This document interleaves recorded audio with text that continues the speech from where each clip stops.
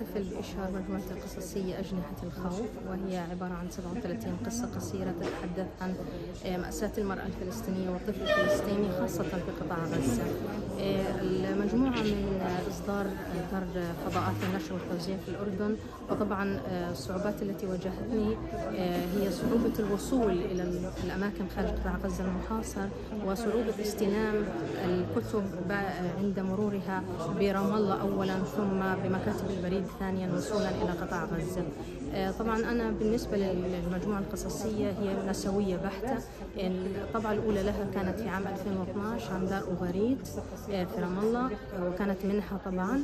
آه، الطبعة الثانية خضعت للتنقيح والزيادة في ورشة طريق للكتابة الإبداعية وطبعا الطبعة الأولى في 2012 الطبعة الثانية صدرت حديثا في شهر واحد الماضي. القضية بشكل عام هي المشاكل التي تعاني منها المرأة الفلسطينية تحت الاحتلال وتحت الثقافة المجتمعية الذكورية. آه، مثلا زي القتل آه، على خلفية الشرف آه، زي الزواج المبكر زي سحق حقوقها وعدم منحها الحق في التعليم وحق في اختيار شريك الحياة.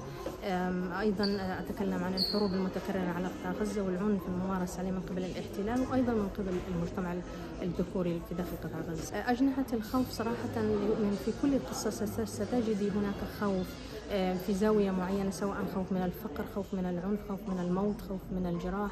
الخوف بشكل عام فأسميت أجنحة الخوف لذلك أنا صراحة حابة أعلي صوت النساء من خلال القصص التي كتبتها لتصل إلى جميع أنحاء العالم وعندي نية في ترجمة هذه المجموعة خلال زمالتي في قصر العزلة في ألمانيا قريبا.